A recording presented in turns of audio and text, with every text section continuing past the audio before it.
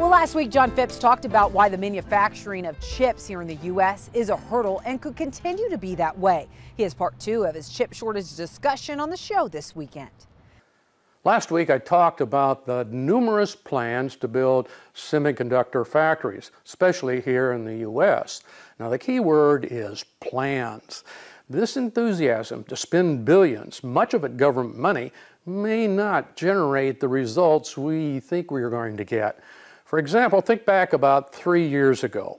There was little mention of any chip shortage, so supply and demand were probably pretty well matched about then.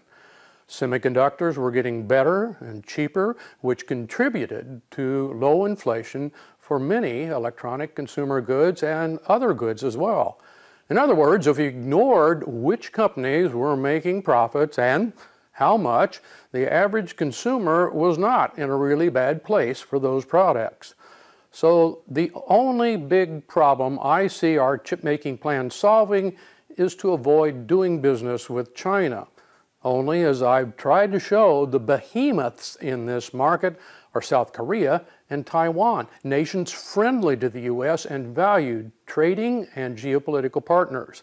While demand for semiconductors doubtless will grow, the manufacturing capacity on the drawing board just in the U.S. could flood the market in a few years, especially if we run into a recession. This has caught the attention of industry leaders and, more importantly, investors. Another problem is when you have such concentration in any industry, like we have with TSMC and Samsung, they have immense power to simply undercut competitor prices, making the recovery of expensive new plant costs very difficult. This is kind of the Saudi Arabia business plan. We can always pump it cheaper. Both these companies are planning fabs in the U.S. in anticipation of some type of import restrictions. Oddly, we seem to have forgotten the similarity with Japanese auto manufacturing a few decades ago.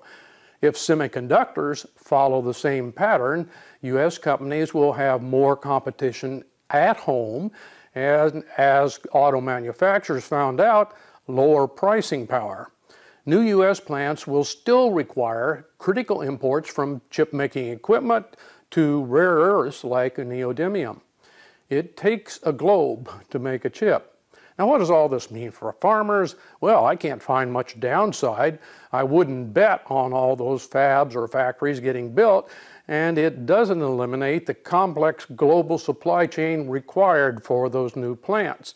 But it should keep the flow of new technology for our machinery and consumer goods more reliable, relentlessly improving, and relatively cheap.